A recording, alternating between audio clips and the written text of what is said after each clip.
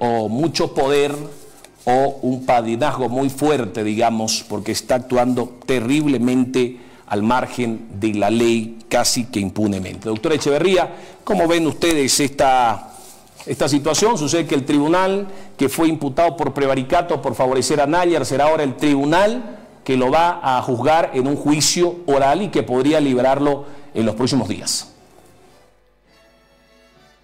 Buenas noches, estimado Junior. Se lo toma como una ofensa a la justicia, toda vez de que los tres jueces fueron imputados por prevaricato, imputación que fue incluso curiosamente anulada.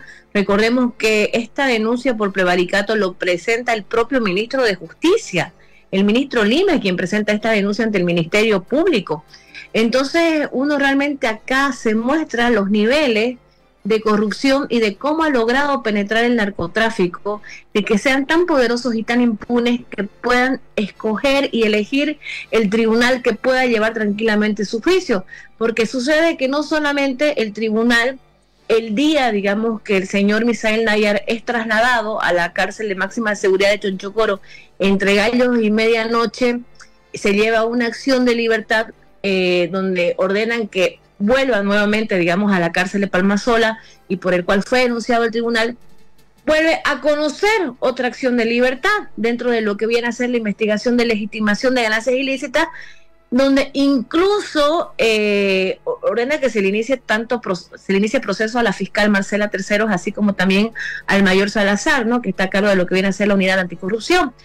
Y declara nula una declaración que se da dentro de esa investigación entonces, ¿cómo es posible que estos tres jueces que fueron encontrados con indicios suficientes para ser imputados por el delito de prevaricato y que lo han favorecido en otra acción de libertad dentro de un proceso tan complicado y tan complejo como es el de legitimación de ganancias ilícitas, casualmente, casualmente, justo ese tribunal es el que va a conocer el juicio de los policías asesinados en Porongo, pero más allá de toda esta situación que se haya podido dar de esa casualidad tan extraña, lo que yo cuestiono es por qué tanto el Ministerio de Gobierno como el Ministerio Público no han actuado y han permitido que esto se dé tranquilamente a tal punto de que hoy tenía que llevarse esa una audiencia de cesación y yo le aseguro que este tribunal lo libera, no se hace problema.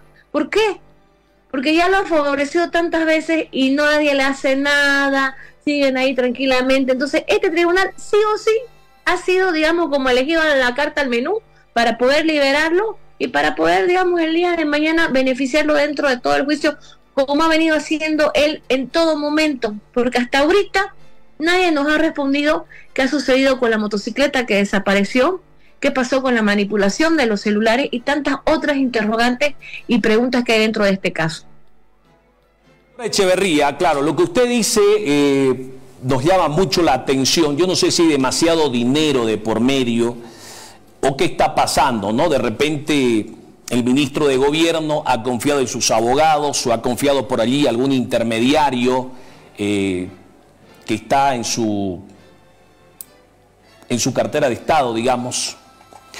O de repente el ministro de Justicia también ha confiado el caso a sus abogados. Imagínense usted, estos dos ministros no deben dormir todos los días recibiendo una serie de informes y tratando de resolver una serie de problemas. Pero bueno, ya es público, ¿no? Deberían recusar al Tribunal Séptimo de Sentencia, es decir, no se puede actuar así tan sinvergüenzamente. Es decir, el mismo tribunal que emite en tres oportunidades acciones de libertad para favorecer al imputado, ahora acusado, sucede que es el mismo tribunal que ahora lo va a juzgar en un juicio oral. Un tribunal que no tiene la independencia y que no tiene, digamos, los mejores credenciales, teniendo en cuenta que fue un tribunal que fue imputado por el delito de prevaricato por este mismo caso.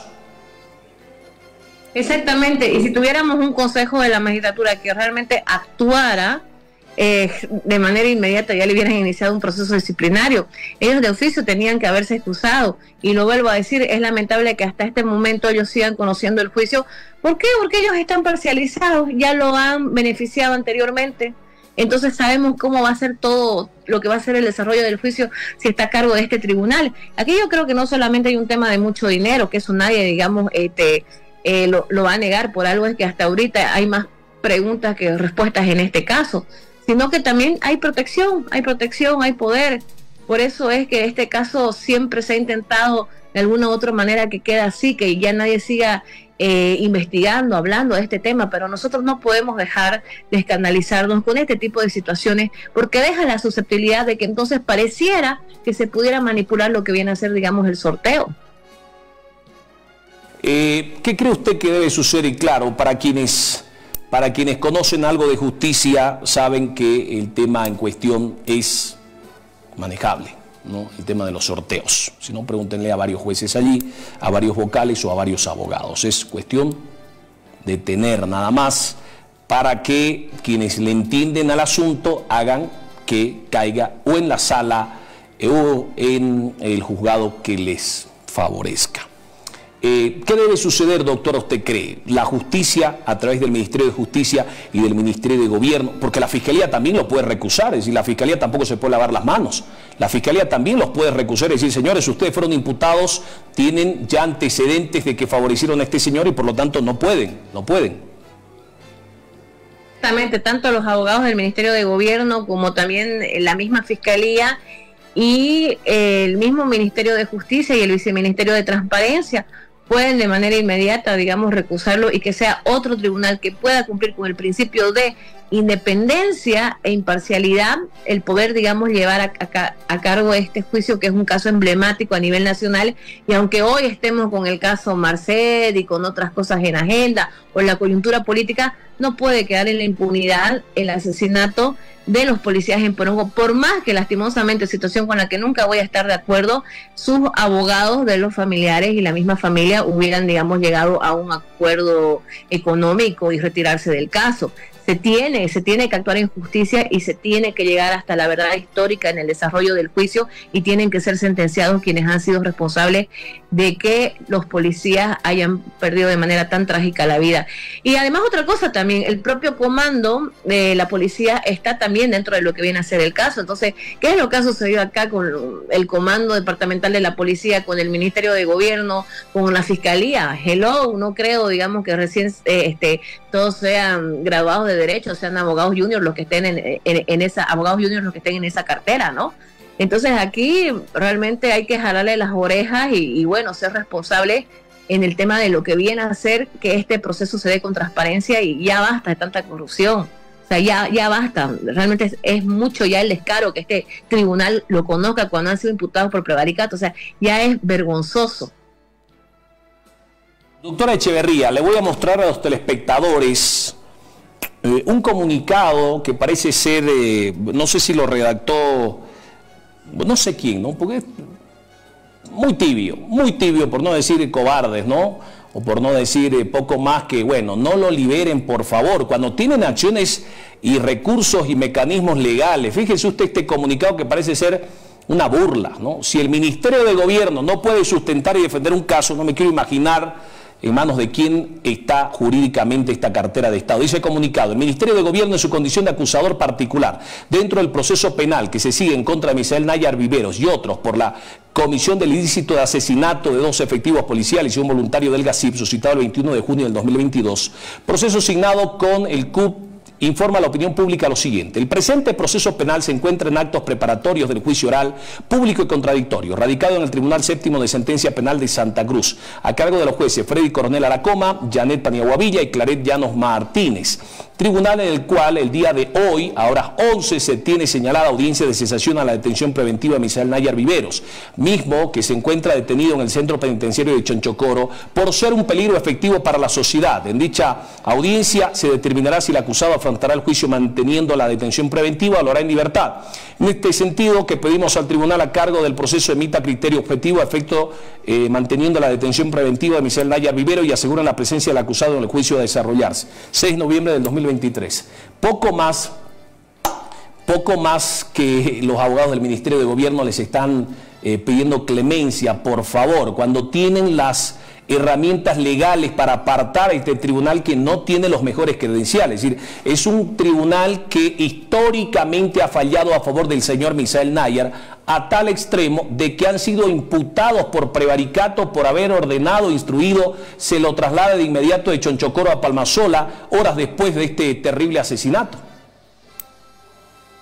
Claro, recordemos que esa vez el propio ministro dijo, eh, a tal hora estaba el sorteo y ya a las 5 lo tenían toda la resolución. Así actuaron, digamos, esa vez para ordenar inmediatamente su traslado.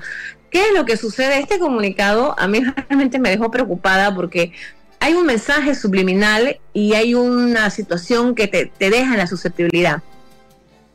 Que al parecer, digamos, cualquier rato el señor Nayar va a salir libre.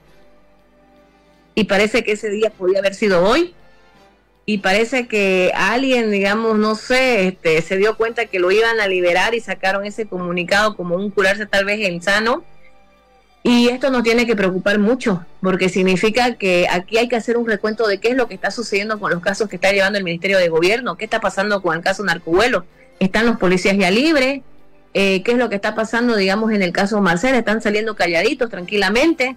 Y ahora, está, en cualquier momento, Misael Nayar, con tres seres humanos que han sido asesinados, que han perdido la vida de manera tan trágica, cualquier rato lo vamos a ver también libre o lo vamos a ver eh, que, le dan una detención domiciliaria, porque este tribunal es capaz de todo.